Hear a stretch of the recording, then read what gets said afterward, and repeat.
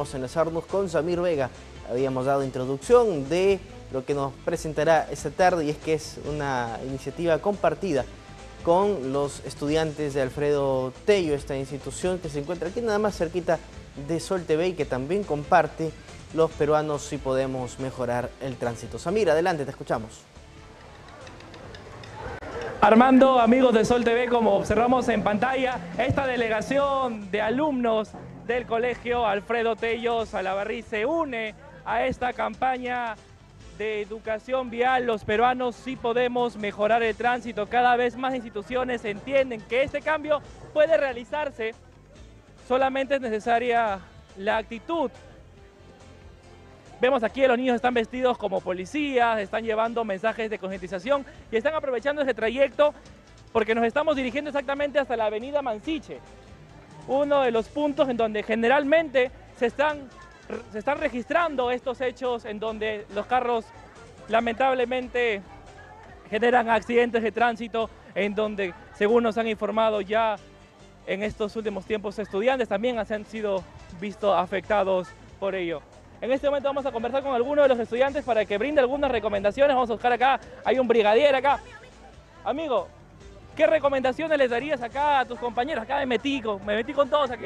Bueno, les recomendaría que al momento de cruzar se fijen, por ejemplo, en el estado del semáforo. Eh, se fijen por dónde andan, que si, van a cruzar, que vayan por el paso peatonal. Al momento de avanzar por las calles, que tengan cuidado y vayan por las aceras.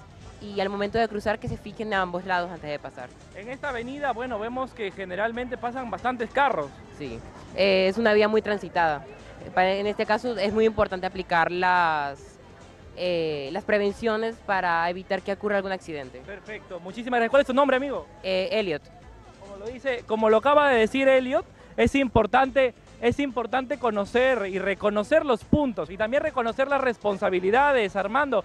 Es necesario, es necesario que se entienda un poquito que la educación vial no es solamente para las personas que manejan un carro, una moto o una bicicleta, sino también para, los, para las personas que transitan las calles a diario, porque también se puede generar un, accidente. Estamos aquí también en emergencia de la directora. Directora, felicitarla por, la organización aquí de los muchachos. Ah, gracias a ustedes por permitirnos dar a conocer y un poco eh, mirar, tomar conciencia de que todos podemos prevenir los tipos de accidentes, ¿sí? Nosotros como peatones y las personas que conducen los, los carros, ¿no es cierto? Entonces, eh, queremos con esto llamar un poco la reflexión a la colectividad a que hagamos eh, buen uso de las señales de tránsito, a que seamos precavidos y a que podamos pues eh, tomar medidas de seguridad para nuestra vida. ¿Los peruanos podemos mejorar el tránsito? Por supuesto que sí, todo depende de nosotros, solamente es conciencia, formación y valores. Perfecto, directora, estamos aquí con un policía, aquí un poquito de respeto acá para las personas. Amigo, me imagino que infractor que ves, pa, su multa. Claro, no, eso no, eso es malo sobornar a los o sea, los policías malos porque casi arruina su carrera o algo, así. Tú vas a ser un policía ético. Claro. Aquí también otro, otro policía, esta vez de tránsito. Sí. ¿Qué recomendaciones darías aquí a los conductores que quizás no utilizan casco, no utilizan cinturón? Este, yo les recomendaría de que, de que mayormente este, controlen, o sea, estén bien en el tránsito, ¿no? Este, no se pasen el alto, respetar este, más, más bien, más que todo, este, los postes que ponen ahí, con, por ejemplo, alto, no voltear en eso, hay que respetar, porque si no puede haber muchos accidentes. Perfecto, amigo. ¿Cómo te llamas? Kevin Pérez. Listo.